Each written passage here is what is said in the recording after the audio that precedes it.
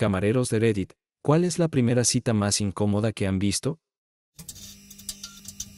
Una pareja joven estaba en mi mesa, probablemente tenían 16 años.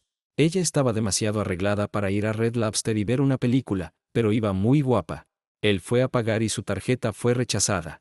Me sentí muy mal cuando volví a la mesa.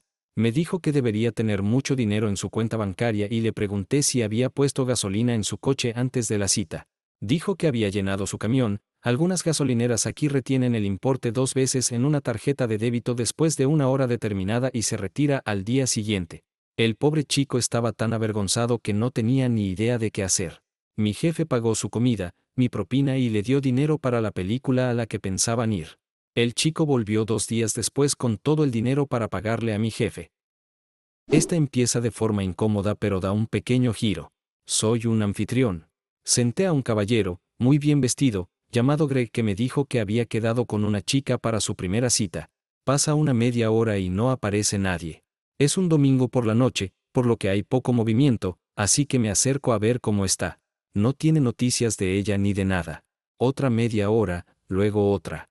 Termina su plato, paga, se acerca a mí y me dice, maldición, ella no vendrá. Da igual. Intento convencerle de que se quede un rato en el bar, pero no lo acepta. Se va. Veinte minutos después, aparece una chica. Dice que su teléfono está muerto y que su coche se ha estropeado de camino a su cita con un tipo llamado Greg. Le digo que se hartó y se fue, ella se pone a llorar porque realmente cree que la ha cagado. Le digo que todo irá bien. El tipo se inscribió en un programa de recompensas y teníamos un número de móvil. Oficialmente se supone que no debo hacer esto pero le llamé y le dije que su cita estaba aquí, y no me creyó, así que la puse al teléfono y volvió 20 minutos después. Parecía que se llevaban muy bien, y cuando se fue me dijo, gracias hombre, y me dio 5 dólares, la única propina directa que he recibido. Ayer llegaron juntos. Me hace muy feliz que sigan saliendo. He estado esperando durante mucho tiempo para contar esta historia. Soy camarero en Red Robin y una vez servía a una pareja de adolescentes, probablemente de 17 o 18 años, fácilmente en el último año de la escuela secundaria. Obviamente, llevaban un tiempo saliendo, ya que sabían lo que querían y pidieron el uno para el otro. La noche de cita parecía ir bastante bien, pidieron sus bebidas, pidieron un aperitivo y luego pidieron su comida.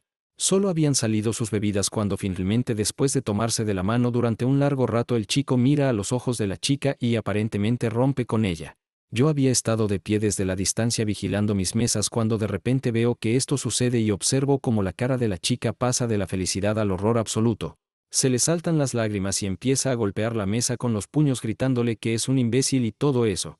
Todo el mundo en el restaurante puede oírla y todo se detiene. Mientras ella se vuelve más y más volátil, él intenta calmarla. No estoy seguro de qué hacer en este punto. Incluso mi gerente había salido y me miraba como si ninguno de los dos supiera cómo manejar esto. Finalmente el tipo grita, bien, bien, si no quieres ser civilizada entonces me iré. Ella le ruega que se quede, pero él se aparta y se dirige a la puerta. Ella no le sigue.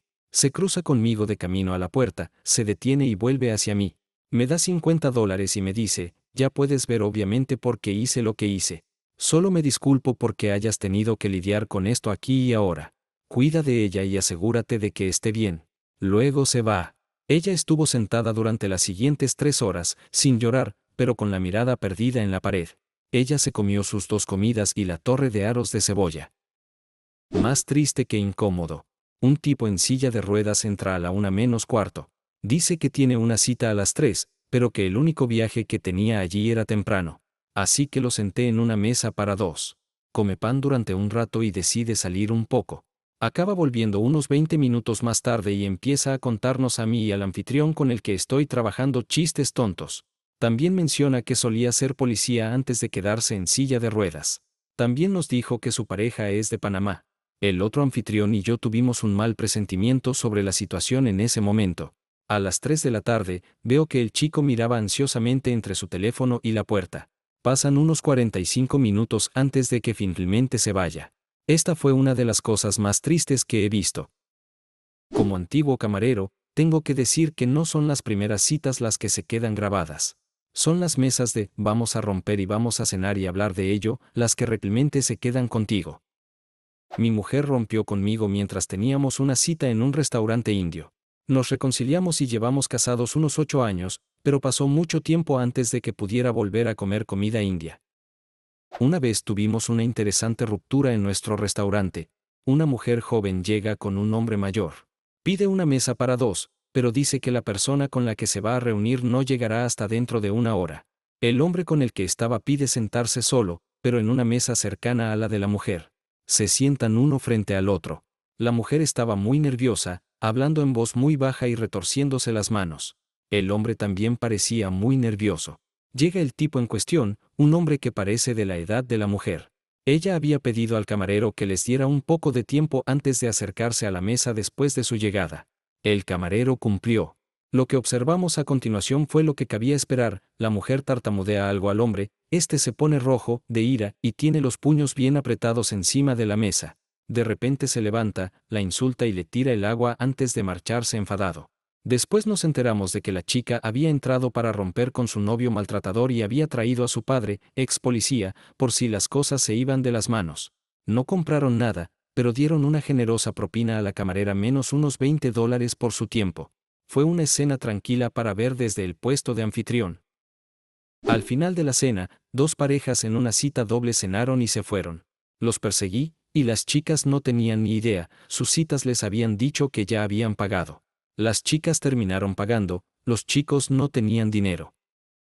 Soy una anfitriona y cuando sentamos a la gente tenemos que hablar de los especiales de ese día. Bueno, en cualquier caso, dos personas entran y no parecen ser una pareja, ambos eran de aspecto muy severo. Yo empiezo a hablar de las ofertas de bebidas, ella me interrumpe y dice que no va a beber esta noche. El tipo la mira y le pregunta por qué, ella le dice que está embarazada. Y tengamos en cuenta que yo estoy justo ahí en medio de ellos sin opción de alejarme porque todavía estoy sosteniendo los menús.